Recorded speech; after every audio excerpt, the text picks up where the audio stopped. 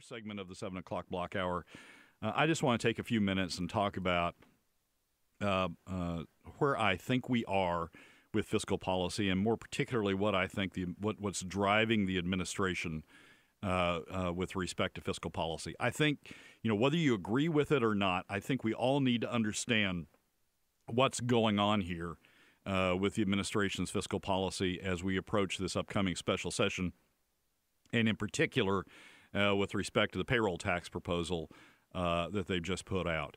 For those of you who didn't hear it, or for, and for those of you who did, Michael did an absolutely outstanding segment interview yesterday uh, with Commissioner Sheldon Fisher, uh, Revenue Commissioner Sheldon Fisher, who came on the program for what was going to be one segment and then turned into two. Uh, and I think that interview, those two segments, are probably the best insight uh, into what's driving the administration's fiscal policy of of any discussion I've I've I've ever heard, and I've listened to Governor Walker time and time again. I listened to former uh, Revenue Commissioner Randy Hoffbeck uh, time and time again. I've listened to others from the administration talk about uh, fiscal policy, but those two segments with Sheldon Fisher. Uh, uh, I think illuminated what's going on with this administration in a fashion that uh, that that was just was was was even more eye opening, I think, than, than what I than what I'd achieved before. For those of you who didn't hear uh, the interview, uh, you can either go to Michael's SoundCloud page, where uh, the entire the entire show from yesterday is podcast. Uh, the interview with uh, Commissioner Fisher is in the sort of in the middle of it. Starts at the 720 uh, block in the podcast, or I cut it out. Um, and and and cut out the, the the podcast of the interview with, with Sheldon Fisher and posted it uh, on my blog this morning uh, in connection with a piece I wrote about what I what I came to understand as I as I listened to it uh, yesterday. So you can listen to it uh, as part of that. Uh, you can find that blog post uh, through my Facebook page or through the Alaskans for Sustainable Budgets Facebook page. They'll have they'll have links to the podcast. Um, the, the, what I wrote as the title of the blog piece is is frankly what I came away with uh, after listening to to Commissioner Fisher's uh, interview, and I listened to it obviously several times. Uh, but but what I kept using as I listened to it was was sort of my economic ear. What was he saying in economic terms? Uh, is driving the Alaska's Alaska fiscal policy, this administration's fiscal policy, and the title of my blog piece uh, reflects.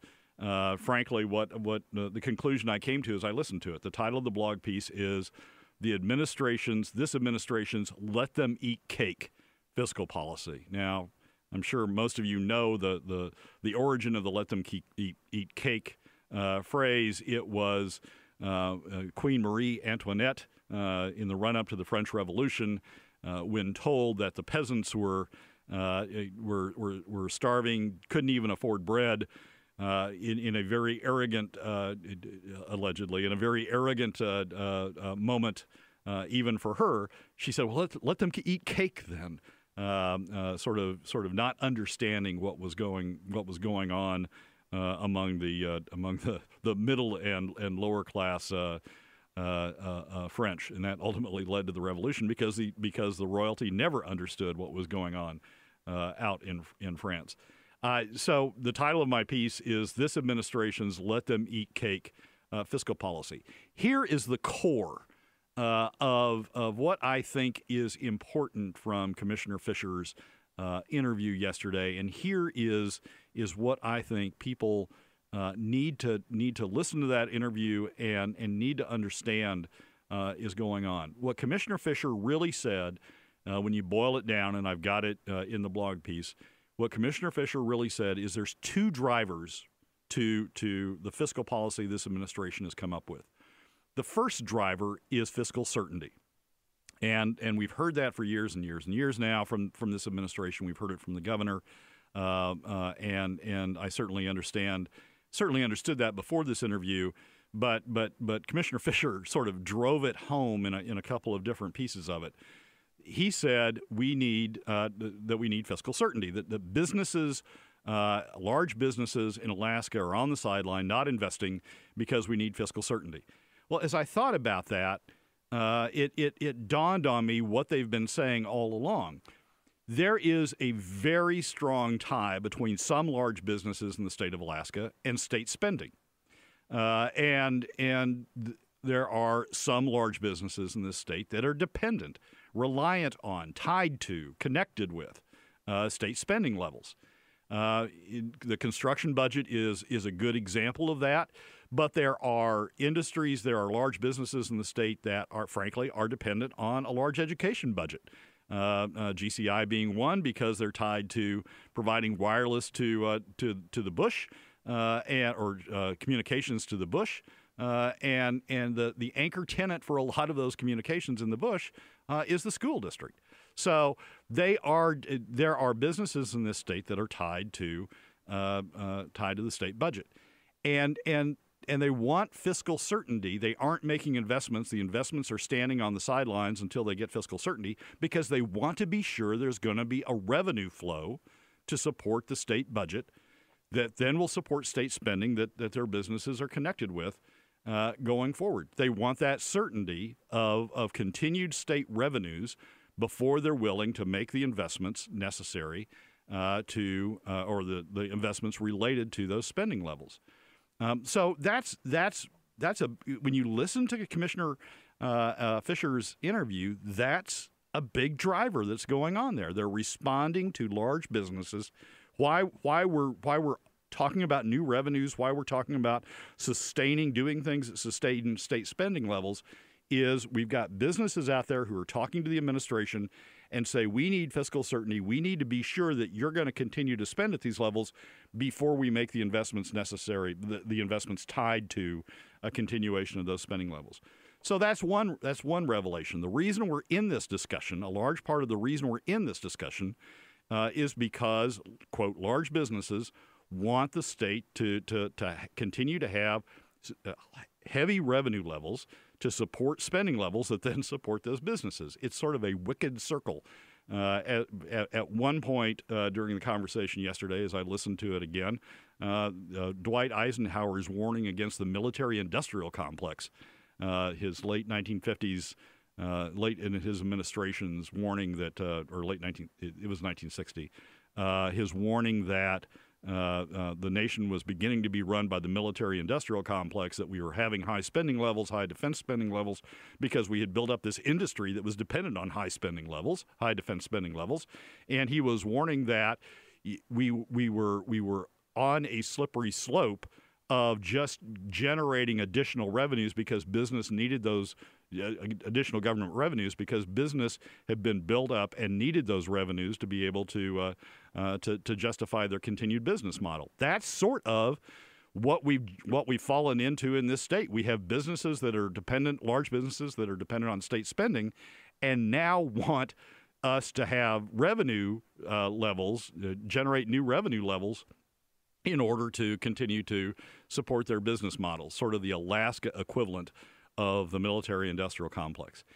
So that's that's one piece of of, of what you can get out of Commissioner Phil, uh, uh, Fisher's uh, interview uh, yesterday. The second piece uh, is is how they're going about developing those new revenues, and there's a key part of the podcast uh, that if you don't listen to anything else, you may want to listen to this. It's around the, the four minute, 30 second mark of the interview, as I've got uh, the cutout piece uh, on my blog.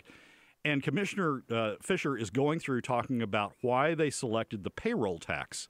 Um, and, and he says, that they didn't that they couldn't do a sales tax because uh, a, a, number of the cities municipalities that have sales taxes pushed back against it some legislators pushed back against it so they'd chosen a payroll tax instead of an income tax because they didn't want to tax capital. Now, that's for those who understand economics. Ca- what that phrase means is they didn't want to tax interest, uh, dividends, uh, other things that are earnings generated off capital. Um, and, and, and frankly, that's revealing because the, the income class that gets most of its money uh, off of uh, off of capital gets most of its money from interest and dividends is the top 20%. So what Commissioner uh, Fisher was was really saying when you delve down into it and listen to it with an economic ear, what he was really saying is we don't want to tax the top 20%. We want to generate new revenues to support this military industrial complex that we've built up here in Alaska, large businesses dependent on state spending. But the top 20% doesn't want to pay for it. And if you follow through what the administration has done, they have pushed uh, the responsibility for paying for these additional revenues off on middle and lower income Alaskans through the PFD cut, which barely touches the top 20% in terms of a significant impact on their on their revenue stream, uh, on their income stream. Uh, and then now through the payroll tax, which again misses the top 20% largely uh, because a large part of the top 20% income is generated off capital, is generated off income and dividends. So we've got a situation in which large business, businesses have, have, have pushed the administration to generate these additional revenues in order to provide, quote, fiscal certainty, but they don't want to pay for it. And they've pushed um, uh, uh, the revenue responsibility for paying for the Alaska military industrial complex uh, off on the remaining 80% and avoiding the top 20%. There is one piece that uh, of the interview that I just found um, is astounding, uh, and that is when uh, Commissioner Fisher said uh, essentially, and it's in the blog piece, uh, Commissioner Fisher said essentially that they don't think that the fiscal that the, that the that the revenue generating measures that they have come to really are that bad. I mean, th- he said they they they thought they took into account uh, that um, uh, that that they were trying to minimize the effect on uh, Alaska uh, families. Here here is what he said: uh, the that they had quote tried to structure something that is modest. The administration has tried to structure something in terms of its revenue generating that is modest and bearable regardless of where the individual earnings fall. Well, that's true of the top 20% because they've missed the top 20%. They've done a PFD cut that barely touches the top 20%, and now they've done a payroll tax that barely touches the top 20%. But if you're, and, and so their goal of modest and bearable, regardless of where individual earnings fall, that certainly is something that has done the top, that, that, that appeals to the top 20%. But if you're in the bottom 20% and you're paying 25% of your income now in terms of, or you're losing 25% of your income in terms of PFD cuts and payroll taxes, that's certainly significant to you. Anyway, that's the that's the takeaway I think that that that people ought to focus on from the interview that Michael did yesterday with Commissioner Fisher. We're going to talk about it more uh, in the in the upcoming uh, segments. We've got Lynn Gattis who's joining us the next segment, uh, and then Andy Holleman will join us at the end of the hour. Well, this is Brad Keithley, uh, but I'm on the other side of the mic today, sitting in uh, for uh, Michael as as a guest host. while Michael and Terry are off tending to a new grandchild, a wonderful thing for those of you who follow Michael on Facebook, there's some pictures on, on there of, of, of him and the new grandchild, and you can just you can see the love radiating uh, from the guy's face. So it's it's wonderful that they're able to spend time with him. Uh, I'm on today, sitting in. Chris Story will be here tomorrow and Thursday, sitting in. Michael is going to be doing Firearms Friday. He insists he insists on doing Firearms Friday. Uh, and then Chris will be back for one more day uh, uh, next Monday, and then Michael will be back in the chair after that. On the line with us, we have uh, former representative and now uh, candidate for lieutenant governor, uh, Lynn Gattis. Uh, good morning, Lynn. How are you? Good morning, Brad. I am just fine. That's that's great. All right. So this is the usual fiscal block uh, on sure. on the Duke Show on Tuesday. We're gonna we're gonna spend a few minutes on your on your run for lieutenant governor, but then we're gonna spend the bulk of the time over on uh, on fiscal issues, if you don't mind. G- give us give us the the the, the two minute overview if you will, of why you're running for lieutenant governor and what what your what your vision is of, uh, if elected, of of how you serve in that role. So I'll back up for so why I'm running for lieutenant governor. You know, uh, I looked at how can I help Alaska move forward. I've been able to be in the legislature, if you will, pull back the curtain, and I know how things operate down there. That being said, oh, not all of it's real pretty. but um, I thought I've spent some time with a group, uh, kind of paring down what's mission critical for Alaska, kind of the uh, uh, uh, where we should go as Alaskans, you know, what we should be doing budgetary wise. And um, the one of the places I thought I, I can be of service is Lieutenant Governor. You know, as we talked last time, I won't go through all 11 of those duties, but 11 uh, duties that the Lieutenant Governor has. Hey, Lynn, Lynn, Lynn, Lynn, would you bring the cell phone a little bit, or, or whatever phone you're using, a little bit closer to your mouth? It's sort of it's sort of muted. Am I better now? You are much better now. Thank you. Do you know what? And for all out there, um, I've used a BlackBerry for years, and I just transferred to an iPhone. So yes, I'm I, I, I'm old, but so I'm learning how to hold the phone to my uh, mouth. So thanks for for for you're not the only one that says that. So what I said was, um, you know, there's 11 things that we discussed last time that a lieutenant governor does. Um, as I dig down into them, reviewing uh, there's an item number six that I discussed last time review and file regulations as prescribed by laws. I think that we haven't paid enough attention to the bureaucrats that actually come up with the regulations to the laws that actually have been passed. And, you know, I can go into that a little bit deeper at some other time. Um, certainly, my expertise has been budgetary things, and that is huge for this state. And I, I wonder sometimes do people get tired of hearing us say the same old thing again and again? Does it take three or four times for it to sink in? Do people recognize that we're taxing uh, folks rather than looking for the efficiencies like any business would do and say, okay, guys, we gotta we gotta pare things down. So, you know, there's a lot of things that I think a lieutenant governor can do. I think the citizen ballot initiative is going to be big. And, um, you know, I was looking at how many times we as citizens have passed uh, an initiative that said move the darn capital to the road system five times, but it's never happened. So there are many things that a lieutenant governor can be very, very instrumental in doing. And uh, that's why I'm running you know, I certainly have people say, well, shoot, you know, if you're willing to do that, why don't you take a jump up and uh, run for governor? So at this time, certainly I'm paying attention with who's running for governor.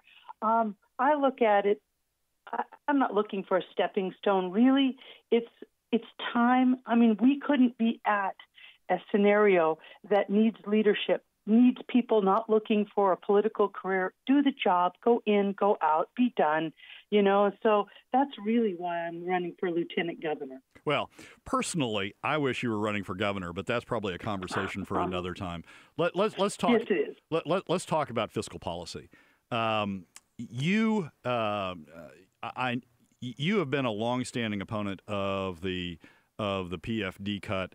Uh, for for listeners that don't recall, Lynn, uh, Tammy uh, Wilson, and a couple of others uh, were were the people who stood at uh, stood their ground when the Senate had passed a permanent PFD cut last legislature, uh, and in, at, in, in 2006 uh, had passed a permanent PFD cut, and and that had come over that permanent PFD cut had passed the Senate um, and had come over to the House. It went to House Finance um, and there were uh, uh, key votes in House Finance, six key votes in House Finance uh, to stop uh, the PFD cut from becoming permanent. If those six people hadn't stood stood their ground, um, it, it, it would have passed through House Finance. And while people said that they thought it would be defeated on the House floor, if you did a head count, you found that probably it would have passed had it made it to the House floor. So these people, in my opinion, are are are the ones who who have prevented. Uh, protected the state and, and, and the bulk of its citizens and, and the overall economy from suffering a permanent uh, PFD cut. Lynn was one of those. Tammy Wilson, and as I said, there were there were four others. So you you've you've had a long-standing uh, position with res- with respect to PFD and, and fiscal policy. Uh, as you said, you'd worked on uh, on the uh, mission critical effort to identify additional budget cuts that could be made. What's your perspective on the administration's proposal now for a payroll tax on top of PFD cuts, uh, and your perspective on on where we are headed uh, in this upcoming special session on on fiscal issues? So I like how you said on top of. So we remind the listeners that we have a proposed tax already on top of a tax that we've already taken. When you look at the budget and you look at areas that we haven't addressed, I really look forward to hearing uh, Andy Holleman in the next segment because he and I also differ. But we look at those formula programs that we haven't even opened up. So when we look at the operating budget and we look at it growing and growing, and sometimes I say it's like grandma's sourdough uh, uh, yeast uh, uh, bread. I mean, it just keeps growing and growing. We have to look at those formula programs and pare them down. There are things that there are efficiencies that we haven't even addressed. Um, I had a bill to look at insurance and pooling the state insurance. You know, we have many different uh, um, unions that have different insurances. Put them all together, you guys. We're paying for it we as Alaskans are paying for it. So now, instead of finding those uh, efficiencies, uh, we've got 18 different IT programs, 18 different uh, uh agencies that have a different, you know, some head of their IT all the way down now. I, I kind of chuckled because it's one of the things we really hammered on with Mission Critical, and I saw you know, halfway through last year that the governor looked and hired somebody to really look at that. Well, you know, uh, I even looked at it during uh, my tenure on the uh, Su School Board, and I said, "Gee whiz, you guys, you want to put a tablet in every kid's hands, and that's great, but I go down to the local store and I buy a $200 tablet to do what I need it to do why are we buying these $2,000? You know what? Now that times are tougher, they're buying the $200 tablet, the one that gets online, that allows the research, allows a little bit uh, word processing, you know, and a couple things like that. So, you know, we have been a state where money was never an object. And man, it is tough for people to get a hold of. Uh, we got to cut back, and and I think the regular citizens, my customers for my business, they get it they get that they've either lost jobs, they get that they're they haven't gotten a pay raise. Um, these are things that the regular citizens are starting to pay attention to. I got to admit, when we had lots of money, I mean, I was raising kids, doing my thing, and I don't know that I paid the same attention. So I don't fault our citizens for not. But I think that they are now, and they recognize, hold it, hold it. You're going to tax me. You're going to tax me before you've even found these basic efficiencies. And just in the insurance pooling and the audits that have been, uh, since my bill, I mean, people re- uh, went really against this because we do have some small insurance companies that, uh, uh, uh you know, make their money, and it kind of circles back to what you originally said that we have companies that have built their um, uh, model, business model, on the back of uh, a state of Alaska, and the business model doesn't work without the state funding it, and uh, that's you know that's a poor business model. So. Um, you know, I, I listened to Sheldon yesterday as well, but we could save about 300 million. The audit state in these insurance 300 million. Hmm. I wonder if there's a tax out there looking for about that. well, it's it's uh, you and I have discussed. You and Michael have discussed it on the show. You and I have discussed it on the show. Sure. Uh, but but it it it it uh, has amazed me as I've looked at Alaska fiscal issues over the last several years. When we had money, there were lobbyists down in in in Juneau that were that were entirely focused on whose compensation depended on getting you know pro- getting grants to various projects.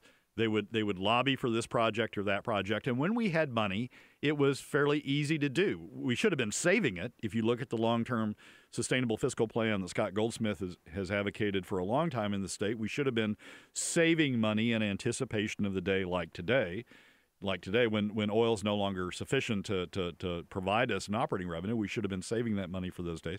But there were people down there lobbying uh, to, to, to, to get that money granted to a new program or to a capital budget or to build, you know, two new engineering buildings, one in UAF and one at UAA, to build a new athletic arena, to do, you know, to do this, that, and the other thing. People were down there, you know, lobbyists were down there being paid. What has amazed me is that those same lobbyists are still there. They're still doing the same thing. But the argument now is don't cut my program. Uh, don't cut my, you know, my budget. Uh, uh, you know, cut somebody else, or hey, let's go get new revenue, um, uh, and let's let's take it off uh, off somebody else's back and keep my program going and keep keep my uh, my situation going. It. I don't know that people really understand the the the level of lobbying that's going on in Juneau uh, among the special interests to to keep government spending at at at at, at high levels. Yeah, I, am not sure either. Um, I don't truly blame lobbyists. We need to have a system. And so the private industry, my private business, I can make those efficiencies. I plan in the reserves, whether it's engine reserves for airplanes or whatever. Government doesn't do that. So when we talk about they should be saving, well, of course they should, but you actually have to put, and we've talked about this, a spending cap into law based on your revenues. And so, um, you know, that's what a business does, but you have to put it into law. You really do. Um, uh, politicians are going to spend money, and they're going to spend money that their constituents want them to spend. So we have to have some other mechanism that puts the people of Alaska in the picture as well. And I've always advocated that the people, I mean, that's why our ballot initiatives and our referendums, I think, are so important because the people, we the people, should have that opportunity to to weigh in. So, you know, uh, we're not going to, I really don't feel that we're going to make the necessary efficiencies unless the people of Alaska come out and say, okay, okay, we've seen it, we've heard you over and over. You can't get 21 votes on that side. You can't get 11 votes on that side. And darn it, if you do, there's that one guy called the governor that won't go along with it. So here's what you got to do is the people of Alaska need to come out and they intrinsically know that, not the businesses that depend on state dollars to keep them in business. But people know that. A, they got to get out and vote. B, I know they're sick and tired of hearing about the budget. I mean, I came back from in 2016. I know you said 20, 2006. I knew you meant 2016 for those listening. I wasn't in there that long. Thank goodness. Um, but in 2016, I had people in the grocery store, good friends of mine, say, Why didn't you do your job? And I said, What was my job? What did you think my job was? Well, your job was to spend money. And, to, you know, they did not realize that our job, you know, is, is only, our only job that legislators have is to pass a budget. That's it. You know, and, um, I said, but do you not think it was correct not to take your PFD until until we have made those necessary efficiencies, until the people have weighed in on the people's money.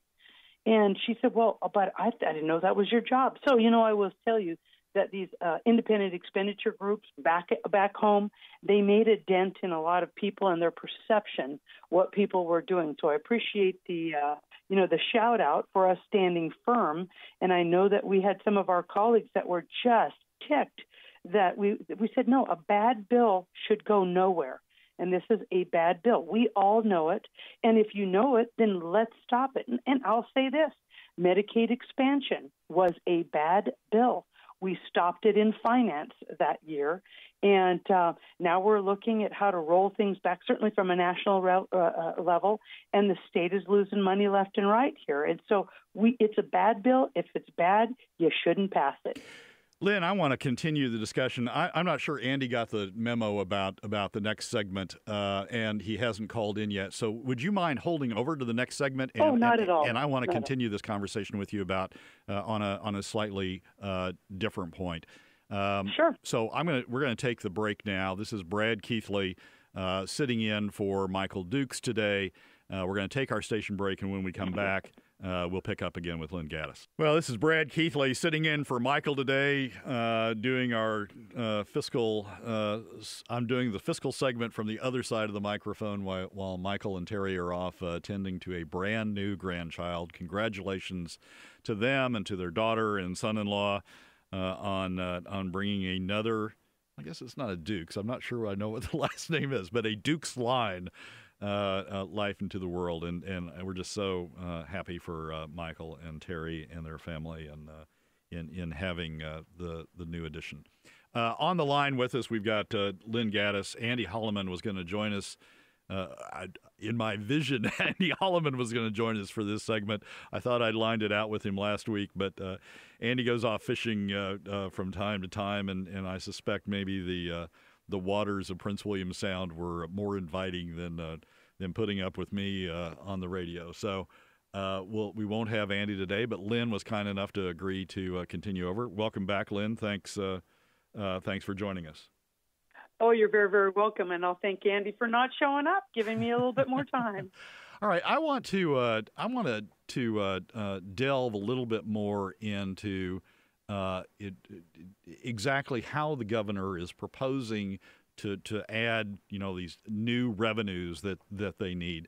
Um, we've talked a little bit about the need for new revenues uh, and the fact there are additional cuts and and I've talked in the past on this program and elsewhere about the Hammond 50-50 plan, which I think would uh, would avoid the need for uh, uh, for new revenues, uh, assuming we do make some additional cuts. So, but we've talked about those. Let's talk about the approach.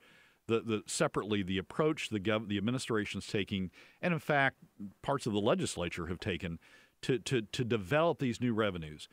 One is, I mean, the first is the PFD cut, and and and you stopped, you and Tammy and others stopped uh, the adoption of PFD cuts on a permanent basis, but they've done it now on an annual basis. The governor did it with a veto uh, last year, uh, and now this year the legislature did it by passing an operating budget that short paid uh, the PFDs, notwithstanding the fact the statute says that the administration shall that the that the uh, uh, permanent fund corporation shall transfer uh, 50% of the earnings to the dividend fund, and the government shall pay out that 50%.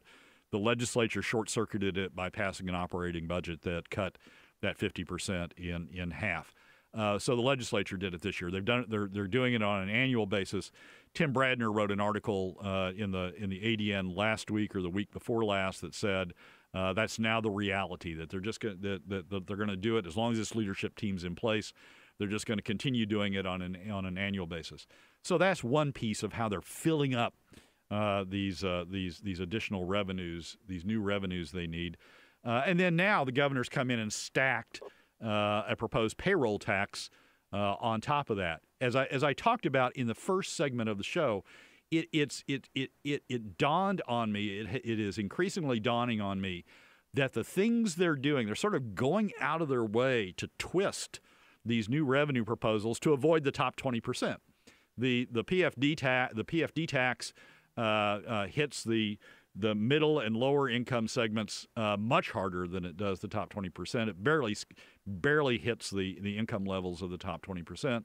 Uh, and, and the payroll tax is designed in a way uh, to avoid hitting largely hitting the same the same top 20% as as ITEP, the Institute of Taxation and Econ- eh, Institute on Taxation and Economic Policy said in an analysis they did for the legislature earlier this session, the big bulk of a payroll tax hits the hits outside the top 20%. It hits the upper middle income and the middle income families that don't get a lot of a lot of their revenue from uh, interest and dividends and things like that from quote capital, uh, uh, but get it from wages. It hits them much harder than it hits the top 20% and indeed the top 5% and indeed the top 1% that get the bulk of their income, a large portion of their income, and then down to the 1%, the bulk of their income from from from those capital items, interest and, and, and dividends that are not hit by the payroll tax. So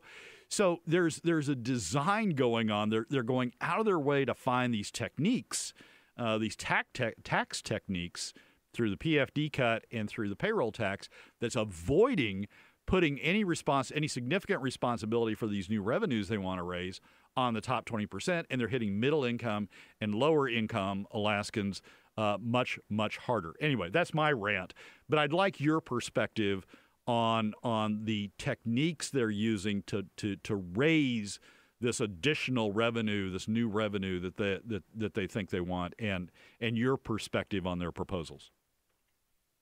So, Brad, great rant, by the way, and I thought, boy, there's so many places that I could go. Um, certainly, um, I, I, I, hate that word revenue measure. Uh, it's a tax. Anytime we're going to take money out of people's pockets, it's a tax. So I like to call it taking half of the PFD and saying it's a revenue measure is really just we're taking money out of your pocket. Secondly, the fact that taking half of the PFD, whether it was the governor or whether it was the legislature this year, uh, that took they haven't used it to fund government, and I think that's the part that I think many folks don't get. That we, it's not like they had to have the money to fund government; they haven't used it, and I think more importantly, um, we haven't. You know, whether you look at our revenue forecasts and how the uh, administration looks at the forecast, and, and they're, I think they're going to have a fall forecast out, and we'll see how they go through that. We're back to that spend cap based on real revenues. And so, you know, I, I have a thought process in regards there, and I won't spend a lot of time. We talked about it earlier, but I think the bigger thing is to talk about how we're taxing certain folks and not others. And I and and you heard the same thing that I heard, but of course we've been doing that. That is what this administration has been trying to do. Um, it's some could say the donor class for those listening. There's a lot of folks that work every day. They go and vote when it's necessary. They pay their uh, uh, um, time, but they're not part of that big lobbyist group. They have not hinged their business on state spending. And it's interesting, those that come out and say, you've got to pass this because we've got to have money because we've got money invested in the state of Alaska and we need this. We need the state to basically keep funding us. And, uh, you know, uh, we're at a precipice right now. The state is at a huge culture clash where we as a state have funded many businesses and we can't afford to do that now. So, how do we do it?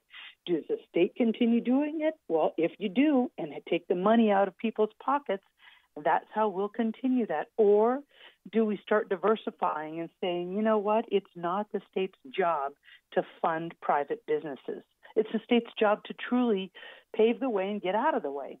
So, um, I, went to a meeting last night where there was a lot of legislators there, and they basically anticipate that this uh, PFD tax probably um, back up the uh, um, payroll tax. Yeah, the payroll tax.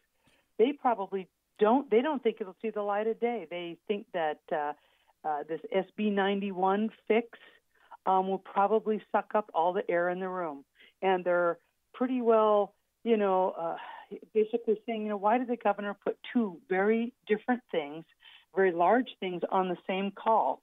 Um, a lot of folks will be spending this SB 91, a huge uh, uh, omnibus bill that will need to be relooked at, look at things that are are not working, and uh, uh acknowledge the public's uh, viewpoint on what it, what's happening out here with crime what uh, you know are we not taking care of its citizens so they don't think that this, this payroll tax will see the light of day I, there was one thing, I, and, and, let me say, I, I respect Sheldon Fisher. I like Sheldon Fisher. Um, I, I have thought highly of him as as commissioner of administration. Uh, I thought highly of him before when he was at ACS. I thought highly of him when he ran uh, when he ran against Don Young in the in the Republican primary at one point. Uh, I, I have respected his views, listened to his views, but I've got to admit, I broke out laughing at one point uh, yes, yesterday in in the in the interview, and and and this is the point that I broke out, and and I've got this in the blog piece for people that want to that want to see it and then listen to the interview at that point and and focus on it themselves. That that the administration had quote, and this is a quote tried to structure something. He's talking about the payroll tax and the and the PFD cuts, the combined the two steps. Quote, tried to structure something that is modest and bearable regardless of where the individual earnings fall. This was in response to a comment that Michael had made that said, "Hey, you're hitting the the middle and the and the lower income classes a hell of a lot harder than you're hitting, you know, the top 20% or the top 5% or the top 1%." And and and the response was, quote, We've tried to structure something that is modest and bearable regardless of where the individual earnings fall. That's just wrong. It's not mm-hmm. it's not it's not it's not even arguable. It's just wrong. If you look at the the impact of what the governor's proposed, the administration's proposals on an average family of 4, the the combination of the payroll tax and the PFD cut, and and and I take the PFD in in, in this analysis, I use the PFD cut that the that the legislature came to and the governor signed last session, which is an $1,100 uh, PFD cut, cutting the PFD from 50% of earnings down to 25% of earnings. When you look at that by income class, it takes 25% of the income of the lowest 20%, uh, uh, the lowest income tax, uh, the lowest bracket, income bracket of Alaskans. 25%. When you look at what it does to the upper um, 20%, uh, it takes less than 3% of their income. When you when you move up from the lowest 20%, it's 25% of the of the lowest, it's 12% of the next, 8% of the next, and and something like 7% uh, of the next. Even the the upper middle income bracket, the, the those between the the 60% and the 80% mark of Alaska's uh, population broken down by income. Even in the upper middle income bracket, they're paying double under the administration's proposal, double than than what the 20 than, than what the lowest 20% is. So it is laughable, laughable for the administration to claim that they tried to structure something that is modest and bearable regardless of where the individual earnings fall. They didn't even try. These mechanisms that they have adopted, the PFD cut and the payroll tax, the slick payroll tax, are designed entirely to avoid putting the burden any burden, any significant burden on the top 20% of, of income and to slide all of the cost of this increased government spending that they want to maintain down on upper middle, middle, lower middle, and, and, and low income Alaskans. Anyway, that's my perspective. Do you, do you have a reaction to that? well, and, and I would say that, um, you know, I know Sheldon Fisher or Commissioner Fisher well. Um, I had the administration budget, so I worked with him closely. And the bottom line is he's a smart guy, and so he should deserve our respect. But he has a boss that has a particular uh, mission, and he works for the boss. So you know, it's not that the guy isn't smart, but uh, his boss has given him particular marching orders, and his boss is running for reelection. And you know, so those are the things that we see in this uh, state when we see folks running for reelection. They do things that I don't think are necessarily good for this state, but how does he get reelected? Who's the donor class? Who are the large groups of people that will come and help him? And so that's the that's a struggle, and he's uh, he's he's working with them. But I'm hoping that the uh, um, Senate uh, stays strong and does what they say that they're going to do and say, we're not going to do that. That's ridiculous. Well, well, Lynn, we're going to have to leave it there. Thank you for joining me for these two segments. This is Brad. Well, Keith- you're very welcome. This is Brad Keithley sitting in for Michael Dukes. Uh, we will be coming back in.